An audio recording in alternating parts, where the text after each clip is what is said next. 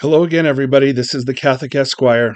I was not planning on making this video today, um, but in light of the recent news coming out of the Vatican that that evil, wretched, uh, sexually disordered Tucho Fernandez uh, and the Dicastery for the Doctrine of the Faith um, has issued another statement that indicates that priests may uh, provide blessings uh, to same sex couples. I have to be careful here with the terminology I use. I don't want to get flagged by this platform, but you'll know what I'm talking about.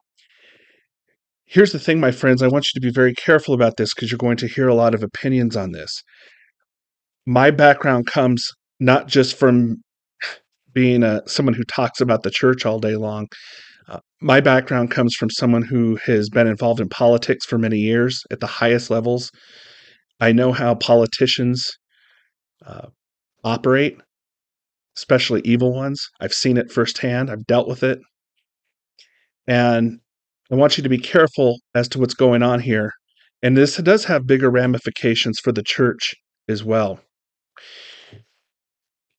allowing priests to give blessings to these type of couples this is not and here's here's the part that a lot of people are going to miss. This is not a situation where they're hoping that this is somehow going to convert into permitting um, same-sex marriages in the future down the line at least anytime soon.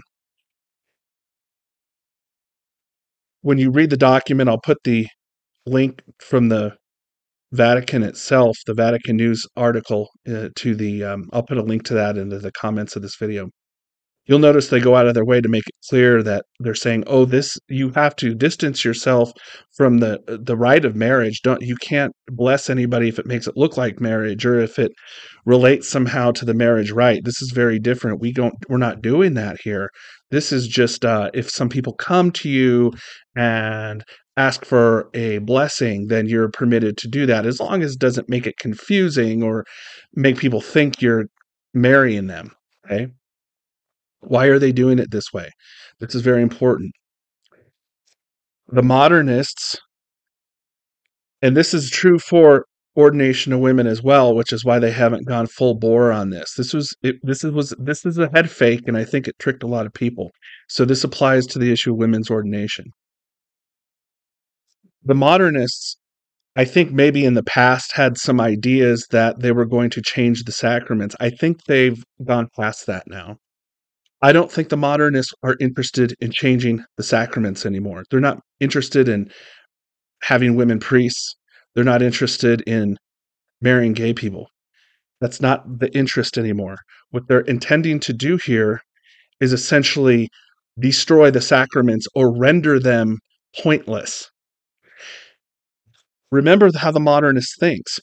Sacraments are very foreign to Protestants, to atheists, to Buddhists. Uh, it's very foreign to the New World Order. The sacraments themselves are a problem.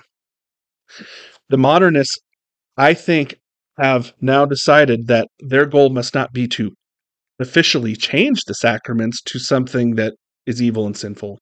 Their goal is to simply render them pointless and useless so that no one cares. All right? That's why I say they don't need to have women become priests.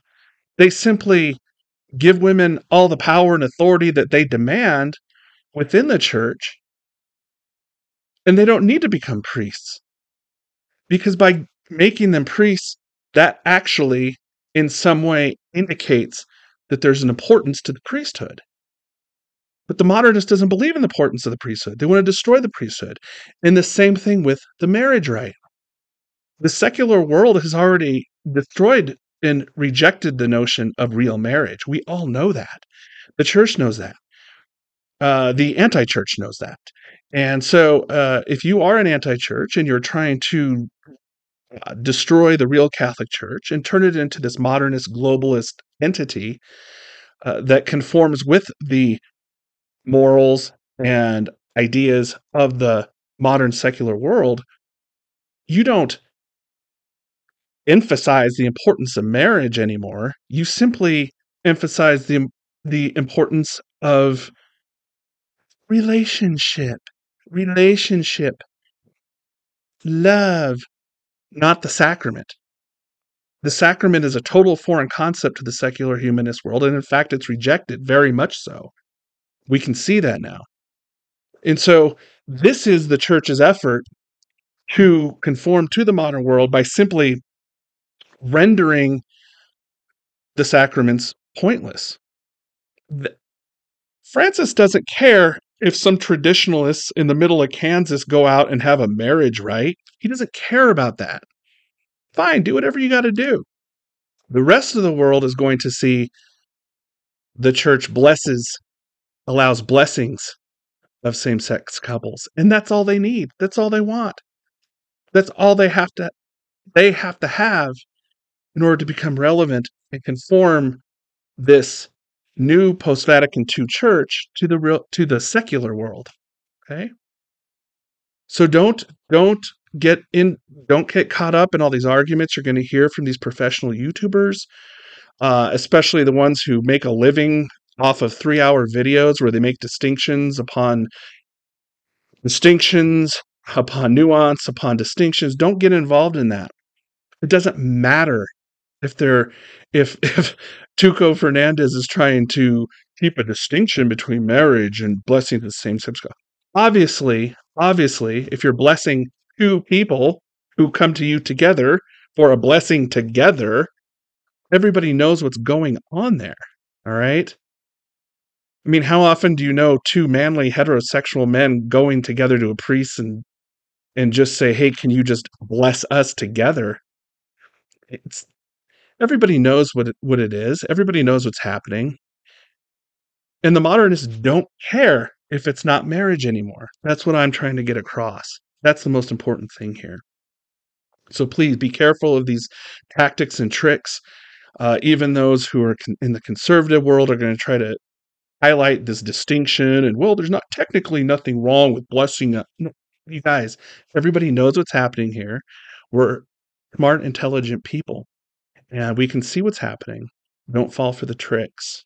This is a major, uh, a major problem. It's actually, I think, even worse than any attempt to try to change the marriage rite because we know marriage as a sacrament can't be changed. That's instituted by God. So we know that it can't be changed. And so just allowing blessings of people who are in a relationship to be blessed at the same time as a couple, that actually, I think, has more of a devastating evil effect on the ch- on the church itself and ultimately on the idea of marriage even though they don't touch it directly. I hope this makes some sense. Please feel free to comment um, in the comment section and share the video. I think it's important to keep this in mind over the next several days as we're going to hear many many comments and stories on this. Thanks for listening to this emergency video. Have a great day. God bless.